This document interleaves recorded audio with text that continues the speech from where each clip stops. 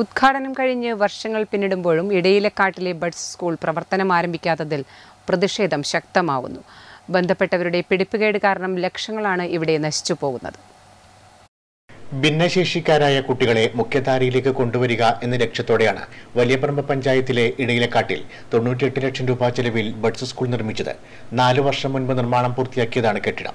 ശാരീരിക മാനസിക വെല്ലുവിളികൾ നേരിടുന്ന കുട്ടികൾക്ക് വേണ്ടി മുപ്പത് ലക്ഷം രൂപ ചെലവിൽ വാങ്ങിയ സ്പീച്ച് തെറാപ്പി ഫിസിയോതെറാപ്പി ഉപകരണങ്ങളും കുട്ടികൾക്ക് വിശ്രമിക്കാനുള്ള കിടക്കുകളും ഏറെക്കുറെ നശിച്ചു തുടങ്ങി.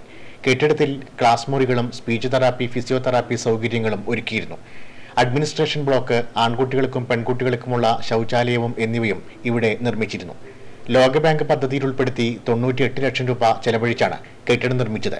രണ്ടായിരത്തി ഇരുപതിൽ ആരോഗ്യവകുപ്പ് മന്ത്രി കെ കെ ശൈലജ ടീച്ചറാണ് ഉദ്ഘാടനം നിർവഹിച്ചത്. ഏറെ പ്രതീക്ഷയോടെ കണ്ട ഒരു പദ്ധതിയാണ് അധികൃതരുടെ പിടിപ്പുകേട് കൊണ്ട് നാശത്തിലേക്ക് പോകുന്നത്. Network news Trikaripur